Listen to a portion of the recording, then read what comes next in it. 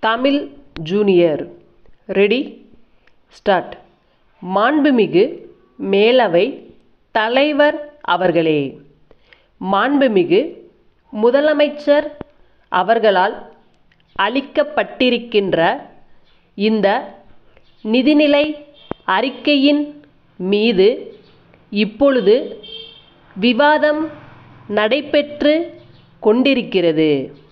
இந்த விவாதத்தில் நானும் கலந்து கொண்டு என்னுடைய கருத்துக்களை சொல்ல விரும்புகிறேன்.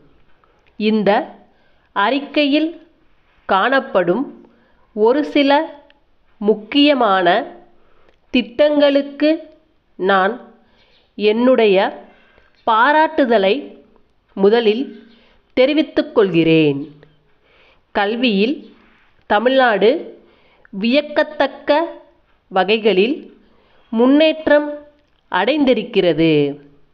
மற்றவர்கள் நம்ப முடியாத அளவிற்கும் எல்லா மாநிலங்களையும் மிஞ்சக்கூடிய அளவிற்கும் இந்த முன்னேற்றம் இருக்கிறது என்பதை யாரும் மறுக்க முடியாது. இலவச உணவு இலவச உடை அளிக்கப்பட்டு கல்வியும் இலவசமாக அளிக்கப்படுகிறது. இதன் காரணமாக கல்வியின் தரம் குறைந்துவிட்டது என்று சிலர் சொல்லுகிறார்கள். கல்வியின் தரம் இதனால் குறைந்துவிடவில்லை என்பதுதான் என் கருத்து. கல்வித்துறையில் பல ஆண்டுகள் அனுபவம் பெற்றவன் என்ற முறையில் இதை நான் சொல்லிக்கொள்ள விரும்புகிறேன். அடுத்து சுகாதார துறையை பற்றி ஒரு சில வார்த்தைகள் சொல்ல விரும்புகிறேன். நான் அடிக்கடி கூறி வருவதை போல துரதிர்ஷ்டவசமாக நம்முடைய தமிழ்நாட்டில் காலரா நோய் சில இடங்களில் இன்னும் இருக்கிறது. சுகாதார பொறுப்பை ஏற்று கொண்டிருக்கிற மாண்புமிகு அமைச்சர் அவர்கள் தங்களால் எவ்வளவு தூரம் சீர்படுத்த முடியுமோ அவ்வளவு தூரம் செய்து கொண்டு வருகிறார்கள். ஆனால் கிராமங்களில் இருக்கின்ற நிலைமைதான் இந்த குறைபாட்டிற்கு காரணம். கிராம அளவில் இருக்கின்ற அதிகாரிகள் இந்த குறைபாட்டை நீக்குவதற்கு தங்களுடைய முழு ஒத்துழைப்பை அளிக்க வேண்டும்.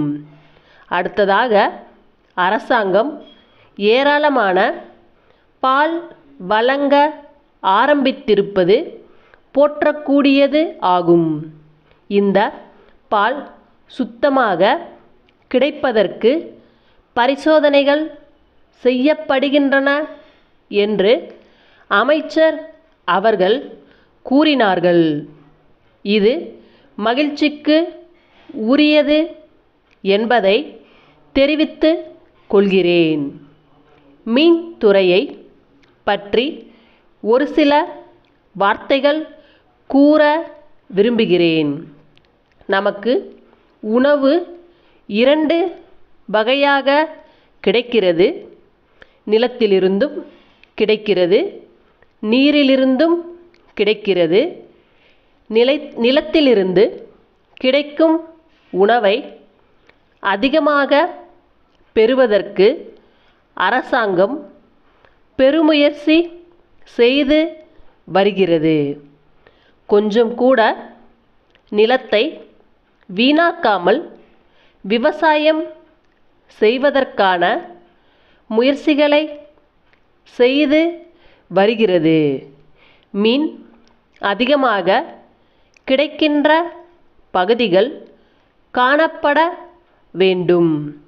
அன்புடையீர் தங்களது பதினைந்தாம் நாளிட்ட கடிதம் இன்று கிடைக்கப்பெற்றோம் எங்களது முடி உலர்த்தும் கருவி பழுதடைந்து அதனால் தங்களது கையில் காயம் ஏற்பட்டதை அறிந்து மிகவும் வருந்துகிறோம்.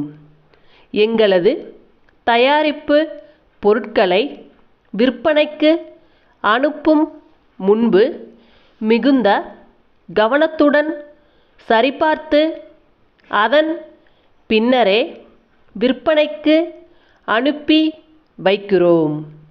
அப்படி இருந்தும் தாங்கள் வாங்கிய இயந்திரத்தில் பழுது ஏற்பட்டதை அறிந்து மிகவும் வியப்பு அடைகிறோம்.